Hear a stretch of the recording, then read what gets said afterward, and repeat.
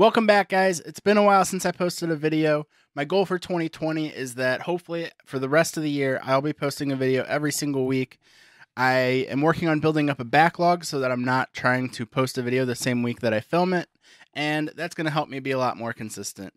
With that being said, if you don't already know this, I'm Kris from Avahi Design, and today we're going to be talking about improving your site speeds for your WordPress website.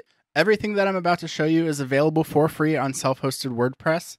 Um, I'm not sure if this would work on WordPress.com sites, but feel free to check and let me know in the comments if it does.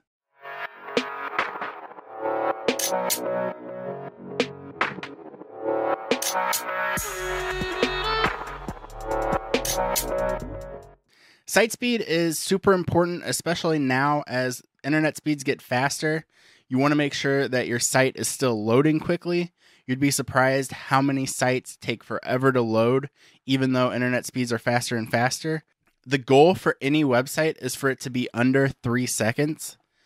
Google actually recently released an update in 2018 or 2019 that takes your site speed into account whenever deciding what search results to serve up. So if your website is super slow, then there's a chance that Google won't even show your website to visitors. There's a ton of different places that you can check your site speed at. Um, my favorite is webpagetest.org. You can also check on Pingdom Tools or Page Speeds. They all test a little bit differently. Your site might not do very well on uh, page speeds, but it did great on web page test. So you just need to check all three to make sure that your site's loading properly and how you expect it to load. Okay, so let's hop into the site and start making some improvements. I've chosen three plugins that we're going to install. All three of these plugins are free. Um, if you're looking for a premium plugin, I would recommend WP Rocket. Okay, so this first plugin that we're going to talk about is called Smush. So it's completely free. Uh, with the free version, you are able to smush 50 attachments at a time. Uh, you can run it multiple times, so you can keep, you know, if you've got 400 attachments, run it a few more times, and you can get through all of them. Uh, they also have lazy load. That's a new thing that they recently did. But I generally just use it for the bulk smush.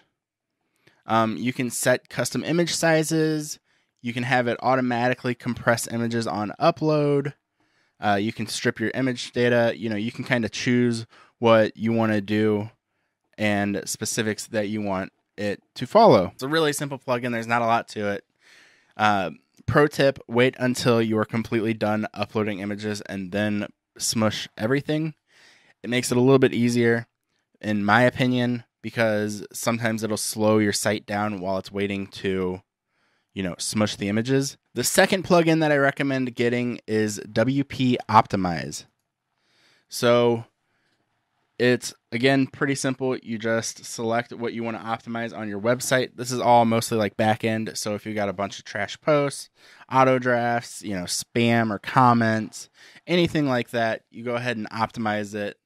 You're not going to notice a huge difference right off the bat with this plugin, but in the long term, it definitely helps create a cleaner, uh, faster website.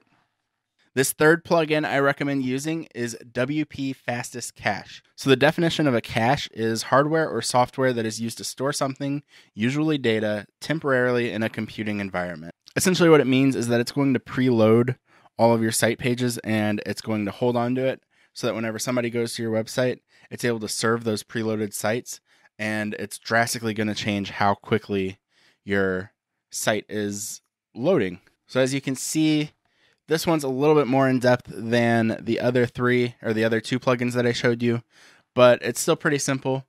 You know, you just go through, you click what you want to do.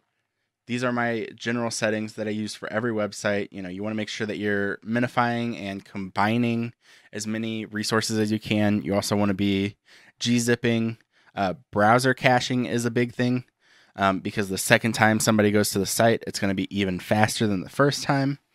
I chose to use WP Fastest Cache because it's the one that I've had the least amount of issues with. Um, some of the other plugins that I've tried, they don't work well with other plugins. So this one doesn't seem to really cause any issues. It's pretty simple to set up. And one thing to keep in mind with any caching plugin is whenever you make changes to the site, you have to make sure to go up to the top and you want to clear clear the cache or delete the cache to make sure that everything that you made changes to is pushed out to your front end user. So this right here is webpagetest.org. Like I said, this is one of my favorite ones to use. Um, I really like it because it gives you this easy to follow guide right here at the top that kind of explains what each like grade is and why you got it. And then if you need to know more information, you can just click on it and it'll take you to a bunch of stuff that list out why they gave you that grade.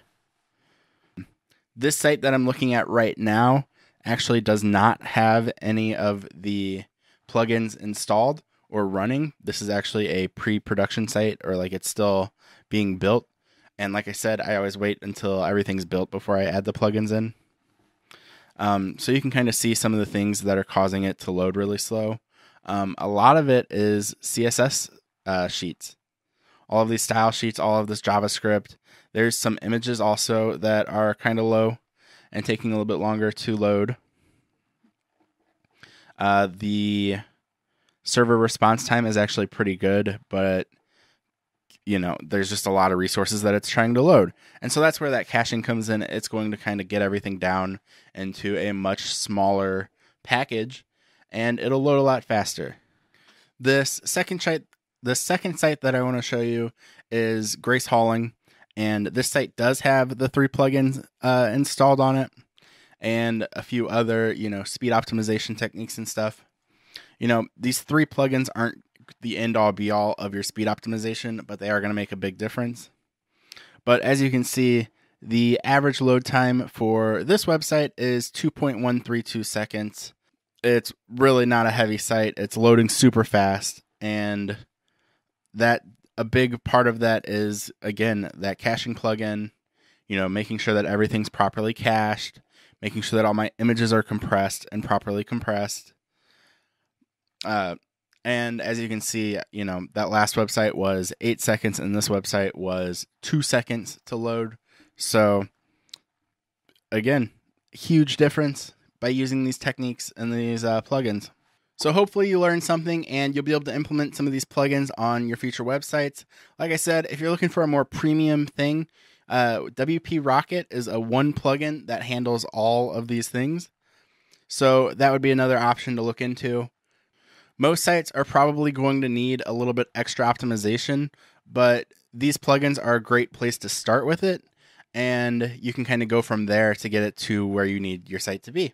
With all of that being said, make sure to hit like and subscribe, and I'll see you guys next week.